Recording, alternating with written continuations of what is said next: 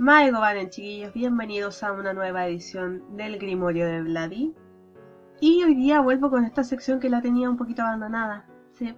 Bueno, resulta que esta semana, no sé si ya lo leyeron por Instagram o Twitter, no sé, pero he estado súper resfriada, entonces como que no tenía muchas ganas de nada, con dolores de espalda, tiritones, y más encima que cuando toso me da por estornudar a la vez, entonces como súper desagradable de ver, y solamente quiero descansar y dormir, y que se me despejen los bronquios. Pero aún así no los quería dejar sin video, y es por eso que traigo un videito de esta sección que estaba un poquito abandonada en comparación con las otras. Resulta que hace como un mes o un poquito más, un poquito menos, fue el Día Internacional del Lolita.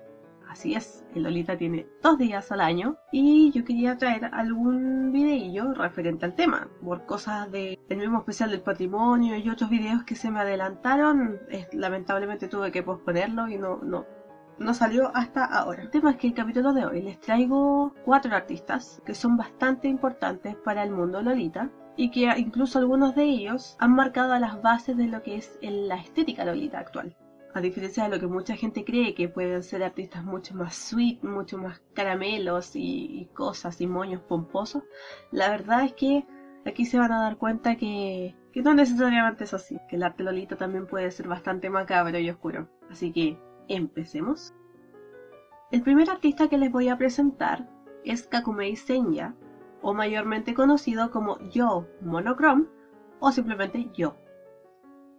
Es un ilustrador japonés que ha trabajado como freelance desde el 2004. Ha sido parte de numerosas exposiciones en todo Japón y ha aparecido su trabajo impreso en diversas revistas dedicadas a la moda alternativa.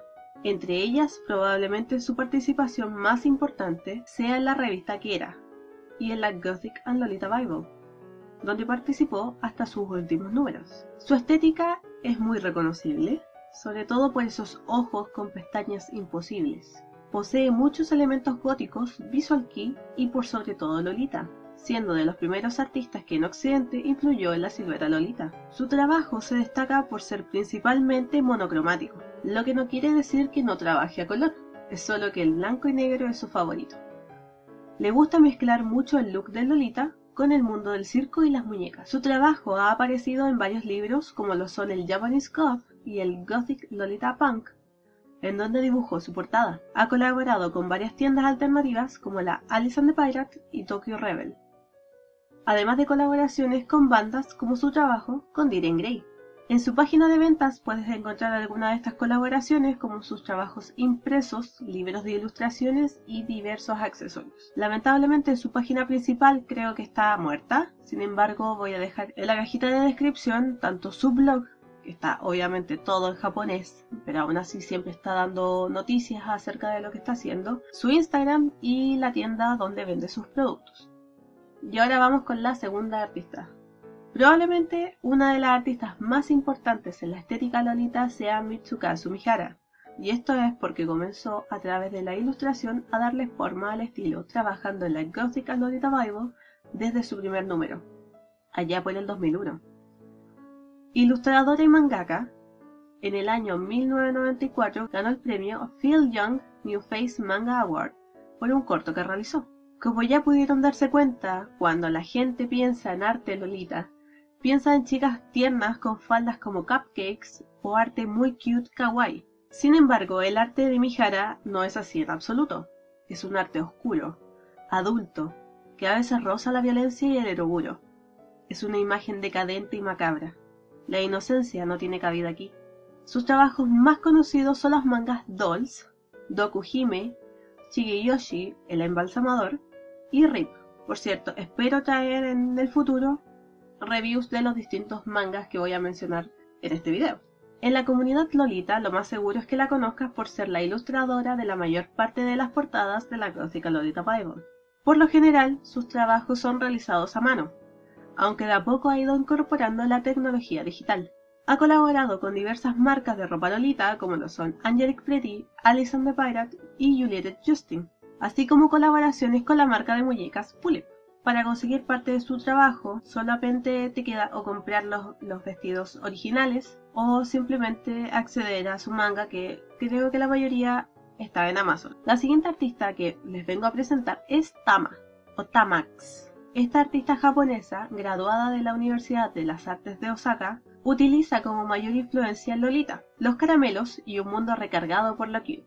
Pero como ya pueden ver, a pesar de que a simple vista su obra puede parecer muy tierna, lo cierto es que utiliza mucho gore y erotismo que gracias a su técnica en la acuarela logra adquirir un look mucho más suave, contrastando con el fuerte mensaje que quiere entregar. Ha trabajado con tinta y lápices, aunque las acuarelas son su fuerte, y lo que la ha hecho destacar en el medio. La gran cantidad de detalles y el look infantil de sus obras han hecho que varios de sus trabajos hayan sido publicados en las reconocidas revistas Gothic Lolita Bible y La Quera, ganándose un cupo entre los artistas más reconocidos dentro de la moda gótica y lolita. Ha sido su particular estilo lo que la ha llevado a publicar varios libros de ilustraciones, como el Under the Rose en 2008, el Ameiron Romance en el 2009, Lidocaine Drop en 2010 y Lost Garden en 2012, además de participar de exposiciones y eventos, así como a su vez la creación de merchandising con la imagen de sus obras que a estas alturas ya son objetos de culto. También ha colaborado con la marca Royal Princess Alice en la que se pueden ver diversos outfits con print de sus obras. La última artista que voy a presentar en esta jornada es Asumiko Nakamura, ilustradora y mangaka de Kanagawa.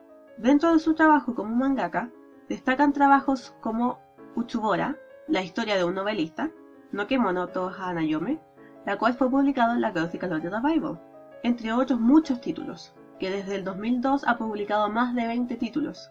Ha trabajado con casi todos los géneros dentro del manga, pero se ha hecho conocida por sus trabajos dentro del choyo, el seinen y el yaoi casi siempre envolviendo sus historias con temas adultos y con mucho humor negro. Marca su estilo propio, con sus líneas delicadas y sutiles, por la forma en que trabaja con las proporciones del cuerpo, haciendo lucir sus personajes de manera etérea. Quizás es por sus mismos trazos, que me recuerda un poco al trabajo del artista Art Aubrey Persley.